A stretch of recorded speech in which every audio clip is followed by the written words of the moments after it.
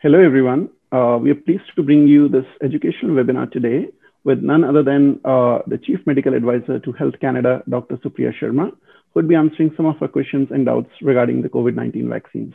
Welcome, Dr. Sharma. Thank you so much for having me. Okay, Dr. Sharma, we'll uh, start. Uh, we'll get started with the questions right away. So we know that Health Canada has approved uh, a couple of vaccines, such as AstraZeneca, Moderna, Pfizer, Janssen. So what's in these vaccines and how do they work? How do they protect us? Well, you know, all of the vaccines against COVID 19 in, in one way work in the same way. So, the, va- the virus that causes COVID 19, the coronavirus, on its surface has these proteins called spike proteins. And almost all of the vaccines that are in development or have been authorized actually produce that spike protein in a different way so that the body, when it sees the coronavirus later, recognizes it and then has is already ready with that immune response. So the mRNA vaccines work by giving the instructions. It's almost like a recipe to produce this spike protein, and then the body builds that immune response against it. They the viral vector vaccine, so when we're talking about the AstraZeneca AstraZeneca vaccine or the Janssen vaccine puts a certain type of instruction into a different type of virus, an adenovirus that causes things like a cold that's been deactivated. And then that presents that, that creates that spike protein to create that immune response. So it's basically different ways of creating a, a, a fake or a false enemy for the body to build that immune response against. Right. So, uh, talking about the mRNA vaccines, some people have concerns like mRNA can alter our DNA. How true is that? It is absolutely not true. So, you know, I know people are thinking about these mRNA vaccines a bit differently because they are new. These are the first vaccines um, that have been authorized, but this technology has been around for years and years. And one of the things that we know very much about these mRNA vaccines is that they can't change your DNA. So, the mRNA doesn't go into the nucleus of the cells, which is where the DNA is even if it could get there, there are all these other enzymes that are needed for it to actually be able to affect the DNA. There's about four or five steps that would need to be there and special enzymes that would be need to be there for it to be able to change your DNA in any way, shape, or form. So it's actually impossible for these mRNA vaccines to make any changes to people's DNA. Thank you. And how protective are these vaccines against COVID 19? You know, I mean, these vaccines have been nothing short of miraculous. If we think about things like the influenza vaccine, we're quite happy if we get about 40% or 50, 50% um, effectiveness against the viruses. These viruses, these vaccines against the COVID 19 uh, virus for the mRNA, for example, are upwards of 90% effective against preventing the things that really matter the most to us. So, severe disease, hospitalization from COVID 19, death from COVID 19. So, they're, they've been very, very effective at those sort of those sort of things that really, you know, is the things that we really worry the most about COVID 19. Right. And uh, since these vaccines were developed pretty quickly, how do we know that these weren't rushed and, and, and any necessary steps weren't skipped? You know, as soon as we knew that there was this virus, this SARS CoV 2 uh, virus, these companies and researchers started working on a vaccine. And from the Health Canada perspective, we do the review. We decided it should be authorized or not.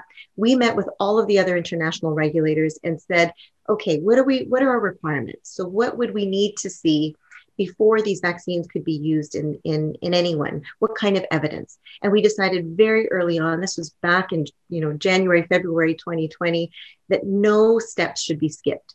So these vaccines have gone through every step that a normal vaccine would go through before it got authorized. The lab studies, the animal studies, and then phase one, two, and three clinical trials. The reason that these could be done so quickly is because, you know, there was a global effort uh, in terms of the development of these vaccines. There was funding that was available. People were collaborating internationally, and there was none of that downtime that there usually is in development. So, normally, when vaccines get developed, there's uh, one part of it that's done, then there's a pause. Potentially, people are looking for funding to do uh, more research. Um, there's a lot of breaks and stops in it. But in this case, it was done very quickly. And from the Health Canada perspective, we reviewed it quickly, but we actually put in the same number of hours and reviewed the same type of data and the same amount of data that we would for any vaccine. And that brings me to my next question. We know that none of these vaccines were actually developed in Canada, but they were all approved by Health Canada. So could you talk us through this approval process, this regulatory process that Health Canada uses to ensure that all these vaccines are safe and effective for Canadians? Sure. And there are some vaccines that are being developed in, in Canada. Medic- the Medicago vaccine is one that we currently have under review, and that's been developed in Canada. But it's not unusual for either medications or vaccines that are used in Canada to be developed and uh, tested uh, in other parts of the country. But regardless of where the research is done, regardless of where the vaccines are manufactured, they're held to the same rigorous standards as any medication or any vaccine would. So, what we did in Health Canada is that we knew that these vaccines would be coming. We knew that they were so important to Canadians and people internationally. And so we dedicated specific teams. We took our most senior, experienced people, put them on vaccine teams of about seven to 12 people for each vaccine. And they were dedicated 24 7 to doing the review. And if you think about it, when you, you think about it, you know, you sort of it normally takes about a year. And then we say, well, how can it be done in a shorter period of time? So, one of the things that we did is that uh, we put something together called an interim order. So, it's a pathway that gave us some flexibilities about how we do those reviews. One of the things that it allowed us to do was something called a rolling review. So normally what would happen is a company would do all the research, all the different phases, finish everything, do all the analysis, and then only then would it give it to Health Canada. But what we've said is that as information becomes available, you can give that to Health Canada. We can start the review, and then that makes it more efficient. But overall, we had a group of about seven to 10 senior scientists working on each vaccine. They were looking at data as it was coming in. The companies were very responsive to all of these questions. And we looked, we spent about 2,000 hours for each vaccine. And some of these vaccine submissions had, you know, up to 100,000 pages of data. So people should feel comfortable knowing that it was exactly the same review, it's the same type of data. We just did it in a shorter period of time. Right. And when we talk about clinical trials, what was the average sample size of clinical trials that tested these vaccines? And uh, uh, how confident we can be in generalizing these findings to our uh, total population, our complete Canadian population? Yeah. So, the large phase, the, the biggest studies, when you're talking about phase one, phase two, phase three, the largest studies are those phase three trials. And for the vaccines that we have authorized, there were between 40 to 60,000 participants in those studies. And that's even larger than we would, you know, we would have accepted a smaller number. Uh, for other vaccines, we've seen 10,000, 20,000. So certainly the numbers were not smaller. And in certain cases were a lot larger than we would see. And what we look at when we look at any studies is how generalizable is exactly how you said, how generalizable is that to the Canadian population? Can we apply the information that we know from those clinical trials, even though they weren't conducted uh, in Canada, to the Canadian population? So we look at the split of age, of gender, sex, um, ethnicity, and we would only authorize a vaccine if those studies showed and demonstrate that the vaccines were safe and effective and they could be used for the Canadian population. Right. And what are some of the major side effects or adverse effects that have been reported to Health Canada uh, as a result of these vaccines? So, for all vaccines, the vast majority of side effects really happen um, in the first 42 days after vaccination. So, over 95% of the, the adverse reactions. And those are the ones that you usually get immediately after. So, things like fatigue, um, some some pain or uh, discomfort at the injection site, headache. Um, some people feel some nausea. Some people have fever or chills, some body aches, types of, of, of symptoms. And so those are the types of things that we've seen with these vaccines as well. For some of them, you know, we continue to monitor all the vaccines, not only in Canada but internationally. There have been some other side effects that have shown up. So for the viral vector vaccines, um, the VITT, so the vaccine associated, these rare clots that can be very serious, but can be diagnosed and treated. We've seen those in rare situations. We've some, seen reports recently of some inflammation around the heart, the heart muscle or the, the casing around the heart. Again, these are all rare, um, but they are important. And it's important that we continue to monitor all of the vaccines as they start to be used in hundreds of millions of people in the world. Right. And as you said, like these these risks such as blood clots that were associated with AstraZeneca or myocarditis that was that was associated with Pfizer, these are rare. So how do we define rare? What's the risk ratio? Do we have any numbers for that? Yeah, there's actually a definition that we use internationally for rare and very rare. So rare is actually uh, greater than one in a thousand, and very rare is greater than one in 10,000. Um, but you know, we don't look just at the side effects. Overall, no matter what, what we're always looking at is a benefit of risks and benefits. And we would only keep a vaccine on the market. It would, would only be able to be used in Canadians if those benefits continue to outweigh the risks. So that's always what we're looking at. And again, we're looking at rare risks, but then what you balance that with is what's the risk of getting COVID 19, getting seriously ill uh, with COVID 19. And just as an example, so when we're looking at myocarditis or pericarditis, um, you know, fortunately, we've seen this, we've seen this with the mRNA vaccine, so Pfizer, Moderna. We've also had some reports for the viral vector vaccines, but, you know, smaller numbers. But overall, it's been mild illness um, it's responded very quickly to treatment. And so far, we haven't seen any longer term effects. If you're actually more likely to get myocarditis or pericarditis from COVID 19 than you are from the COVID 19 vaccine. Right. And since we don't have any long term data on the safety or efficacy of these vaccines as of now, uh, so uh, do you think these vaccines may present with some long term implications, such as effects on fertility or any other health uh, impact?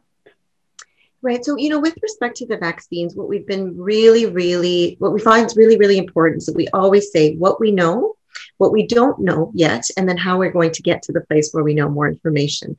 So, it's true that we don't have long term safety data or efficacy data on these vaccines, but that's why there's a commitment from the, the manufacturers to continue to monitor all of the people that were in the clinical trials for two years. And then what we do is do the real world data um, assessment. So, again, hundreds of millions of people have received these vaccines. We work internationally to continue to monitor it. But I think what's really important is that, you know, before it even gets authorized, these vaccines Uh, go through this whole development process. So everything we know about the science of the, the technology of the vaccines themselves, the studies in the labs, the animal studies, and the clinical trials. So, you know, we haven't had, for example, you know, I think for, for children, people are, uh, especially are wondering what are the long term effects. We have not had vaccines that have had an unexpected long term side effect um, in the in the history. Doesn't mean it can't happen, but because of all the data and all the science that goes into it before it gets authorized, it would be very unlikely. But it's really important to know that we have about one year of data now on the vaccines that have been authorized. We have not seen anything uh, unexpected other than the vac- the side effects that we've spoken about. But we want to make sure we continue to, to monitor it, monitor it. One of the things, you know, as you mentioned, was really around the effects on fertility. And we have not seen any adverse effects on fertility. And one of the things that also helps us is that, you know, we get natural immunity from COVID 19 as well. So people that have had COVID 19 uh, disease also do the same thing or a very similar thing that the vaccines make us do, right? They have that immune response to try to counter that vaccine. And we have not seen fertility issues in women that have had COVID 19 disease. So after that, we've not seen any fertility issues. And there have been no fertility issues at all that have shown up in people that have had um, the COVID 19 vaccine. There have been some reports of women whose periods have, have uh, changed a little bit, have been a little irregular. Um, but that's not uncommon to see with vaccines and other other uh, interventions as well. So absolutely, uh, what we've seen so far is no effects at all on fertility. And you made an excellent point between natural immunity and the immunity acquired through the vaccine. So how different are these two immunities? Is the natural immunity enough to protect us against? Uh, so if somebody suffered from COVID-19, they've had these antibodies in their body. So uh, are they good enough? Are they safe? Are they, can they consider themselves safe? Uh, and uh, like, or do they still need to take the vaccine? You know, I think this the virus that causes COVID nineteen is a very humbling virus. I think what we're finding is that the responses to the virus is very different from one person to another. And we still don't know why, for example, some people get very ill, some people get a milder illness. And it's the same thing with the immunity after. some people have it's almost they have this super response. So they have a, a really really good immune response after they've had covid-19 others do not have as, as strong a response. And we do know that there are people that have had covid-19 disease that have then gone on to get it again. So the challenge is, is that the, the natural immunity you get from disease is not as predictable, it's not as consistent as the immunity that we get from vaccines. So we're continuing to study that, and there's actually some sort of super immune people um, that there's you know blood samples have been taken, or we're looking to see what factors might give them that sort of immunity. But right now, what we're saying is that even if you've had COVID 19 disease, even if you've been sick or you haven't been so sick, that you still need to get your vaccine um, to make sure that you have a you have that, that full protection um, against potentially getting the virus again. And what are the risks of getting COVID 19 after being fully vaccinated? You know, that's a really good question. So we know that the vaccines work right? And when we've seen it in countries that have good vaccination levels, when there are outbreaks of COVID 19, it really is a disease of the unvaccinated. It does not mean that you, it is, there's a 0% chance of you getting COVID 19. Um, there's a very low risk of you getting very seriously ill, but you can still get COVID 19. So, depending on the vaccine uh, and depending on the variants, we know that some of these variants are better now, kind of uh, uh being against the vaccine. So, it's between, you know, a 60 percent chance to an 80% chance of being protected against all illness. But even if you get it, what we're seeing is the vast majority of people that have been vaccinated, if they do end up getting COVID 19, it is a much milder illness or they don't have symptoms at all. So it really, as again, the vaccines are really doing what they're supposed to be doing. Right. And as someone who's fully vaccinated, I know the virus can't hurt me much, but can I transmit this virus to someone who's non vaccinated? Um, I mean, the short answer to that is yes, but it is you are less likely to. So, you know, when we first do this, when they first do studies for vaccines, uh, we really look at how effective are they at, pre- at preventing people getting sick, getting the disease, getting very sick from the disease. The studies, those initial studies, didn't examine, they didn't look at how likely it is for you to transmit. So, the information that we have around transmission is from the real world. And what we've seen so far, so there was a study in Scotland that showed for healthcare workers um, that were going to work and getting tested every single day, if, if you were vaccinated, you were 50% uh, less likely to transmit COVID 19 to your family members. As well as there, there are studies that look at vaccine shedding, so giving off the vaccine. And we know that people that have been vaccinated shed less virus. So they give off less virus if they're infected, and so they're less likely to transmit. So it's not zero, um, but they certainly do decrease the likelihood that you'll transmit the disease to somebody else. Perfect. And some people are still apprehensive about the safety or the efficacy of the vaccines. They're still concerned and still skeptical whether they should get the vaccine or not. So, what are the public health implications if a lot of people decide not to get the vaccine? Yeah, I mean, first of all, you know what? I, I appreciate people sometimes being hesitant about new technology. And, you know, it's, it's important to remember we're all living in this very new COVID world. I mean, I, most of us in our lifetimes have not seen anything like this before. There's a lot of information coming at people, there's a lot of uncertainty. So I can understand why people have a lot of questions. Um, and that's why we want to make sure that we have information that's that's provided, you know, at the Health Canada level, at the federal level, at the local public health level. And, and we really need to meet people where they are. So answer their questions. Um, you know, people have different reasons about, you know, not being sure about the vaccines. So we want to make sure that people, I want everyone to have as much confidence in the vaccines as, as, as I do. So that's really, really important. And to understand that, you know, you're, you get vaccinated to protect yourself you know absolutely that's a most important thing. You don't want to get very sick you know obviously we don't want to die from this disease. You do it to protect the people that around you but also vaccines are one of the things that we do for all of us as a community. So you know for people that cannot get vaccinated there's some people that can't get vaccinated there's some people who don't have uh, a good immune system so they don't have that good response to the vaccines making sure that everyone is as protected as they can be also protects the people that can't get vaccinated. And the more that people we have vaccinated, the fewer cases there are. The fewer cases there are, the less this, this virus can replicate or, or um, repeats itself, or and the less disease we have, the more likely we have to sort of stop and control the spread. And the other benefit is that the less people that are, are infected, the less we see of these variants because the virus really needs to be replicating and to be creating more of itself to be able to change to create these variants. So it really is something that we need to do as a, an entire nation, as an entire community to protect not just ourselves, but everyone as well. Yeah. And one of the other concerns a lot of us have is basically we don't have a vaccine approved for kids under 12 years of age yet. So could you uh, educate us on uh, on the trials that are underway for kids under 12? What's the progress? And in the absence of vaccines for these kids, how can we protect them? Right, absolutely. So it's not, and, and you know, this is normal kind of development for vaccines and, and medications. Usually they start with clinical trials in adults and then they move to trials in children. So for, for Pfizer, Pfizer is actually approved for uh, younger adolescents, uh, but they've already started trials in younger children. So their trials are actually all the way down to um, children that are six months of age and older. Um, for those trials, the next ones we're likely to be seeing is for the age group of 5 to 12.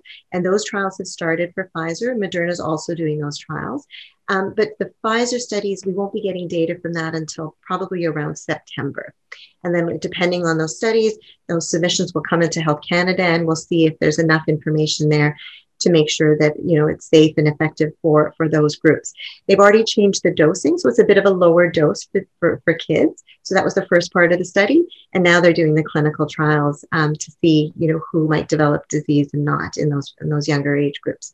So you know we do know that for children they are they are less likely to have um, get very seriously ill from covid-19 but they're it's not zero. And so you know it's important that they're protected. And then the way that we protect children who are not vaccinated is you know making sure that the people around them are vaccinated created that little bit of that bubble of protection around them and then looking at the public health measures. So you know limiting contact making sure we're doing those traditional things like washing your hands um, you know making sure that we're not being we're not exposed to a lot of people. I think we really are looking at schools now, right? Making sure the ventilation is appropriate.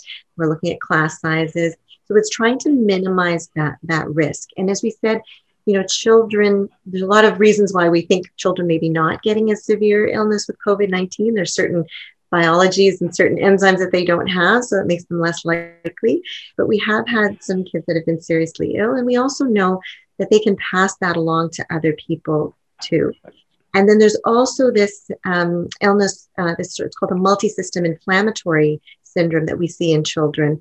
Uh, again, very rare, probably one in 2,000 of, of children who get COVID 19, but they can get very, very sick with this sort of inflammation on different parts of the body as well. So there's lots of reasons to, to keep them protected before we have vaccines, but it's really trying to use some of the other measures other than vaccines to try to minimize the risks as much as possible. And we know now the city of Calgary has repealed its bylaw on masks. So would it be safe to say goodbye to masks now if we are fully vaccinated? You know, I mean, masks are a, a simple measure. Um, I know that some people, I know it's not the most comfortable thing, it's, but it's a simple measure that we can use to protect our, ourselves against these aerosol or these air droplets. Um, so I think, you know, there's a lot of places where the risks are lower. So outdoors is much safer than indoors. Um, I think if you're indoors with people that you know, if they're doubly vaccinated, um, if you know that they're not at high risk in terms of exposure, if you know that there's no outbreaks in the community, then that might be you know a place where you don't need to necessarily wear masks. I think indoors where you have large groups of people and you don't know them, it's still a good precautionary measure to wear masks to protect yourself and protect others. So I think we we're not quite ready to say uh, goodbye to masks. I mean, there's parts of the world where people are very comfortable wearing masks even before COVID 19. They wear them uh, to protect themselves against dust or other illnesses. And we know that through you know this period of time where we've had a lot of public measures, uh, public health measures in, it's decreased other illnesses. So we really didn't have the influenza um, the flu outbreaks that we usually see um, normally because people were having these other measures. So we know that these other measures work, um, and it's just a matter of you know in the higher risk situations, it's probably still a good idea to to use that if you can. Perfect, thank you. Now we'll move on to some of the conspiracy theories around COVID 19 and the vaccines. So, do we have a consensus about the origin of the virus as of now? Did it like originate from the wet markets, wet animal markets, or did it escape from a lab? Do we know anything about that yet? So we, we don't know that definitively uh, at this point in time. And so, and again, it's not atypical to not know that immediately. It, the, the process that you go to to try to track back and work through how something originated um, is, is quite complicated. Certainly, we've got, you know, once the virus was isolated and we found out what the genotype is, what the genetic fingerprint was, that gave us a lot of information, but it's still not um, something that we're, we're completely, we have complete information on. There is, you know, an idea that it was from a, a wet market. There was um, a, a, bat, uh, potentially origin, then potentially into another animal, and then into humans. There have been some discussions about whether you know there may have been an accidental um, release from a lab somehow. But um, it, you know, it's something that, that the, the World Health Organization is investigating.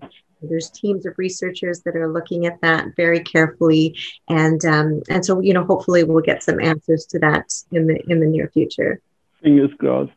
And we know, like, you know, COVID 19 has caused massive destruction, massive catastrophe all over the world. There have been so many deaths, both in the developed world and in the developing world. And one of the biggest conspiracy theories is that was that uh, this was a scheme, this was a universal scam to depopulate the world. What do you have to say about that? You know, I mean, I think it is with like a lot of these conspiracy theories. It's hard to like it's hard to prove a negative, right? It's hard to prove that somebody was was not trying to do that. But I think, you know, when you see these um, whether whatever the theory is you know we, are dealing with a pandemic i think we're dealing with an infodemic as well like there's a ton of information that's coming at people but i think you always have to think about why? Like what would possess anyone to want to do something like this? Something that's disrupted everyone uh, all around the world.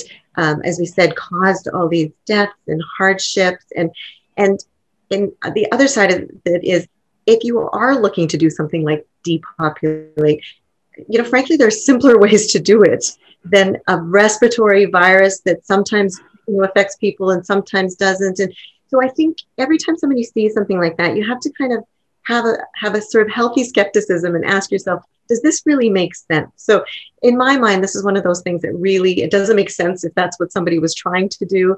And it, certainly doesn't, you know, the, the motivation for doing something so heinous really does seem like very, very, very far-fetched.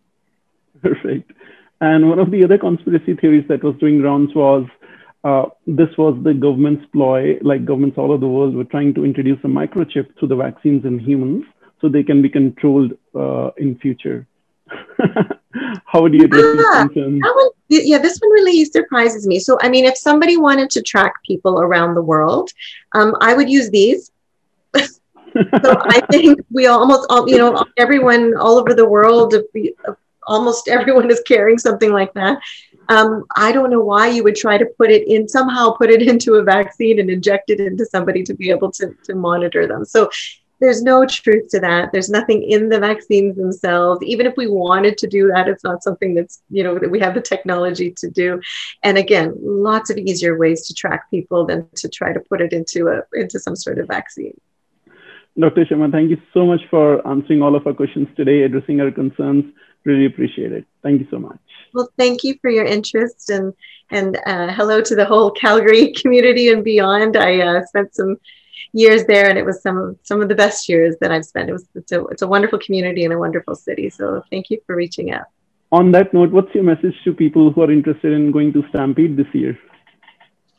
Well, listen, my experiences from Stampede were very different than I think what this Stampede is going to be like. It was, you know, a lot of people very close to each other, very loudly singing and dancing, friends in low places. So, I mean, I, I, I have a lot of faith in the public health um, group, Dr. Deena Hinshaw and the team in the public health there, and all of the local community leaders. I know that they're doing everything that they can to make sure that um, that this stampede can go ahead as safely as possible. So I would say, um, you know, if you're, especially if you're at low risk, uh, please, if you're going, I would really encourage you to be doubly vaccinated, follow all the public health rules, and uh, enjoy this little taste of getting back to uh, to normal. Thank you, Dr. Sharma.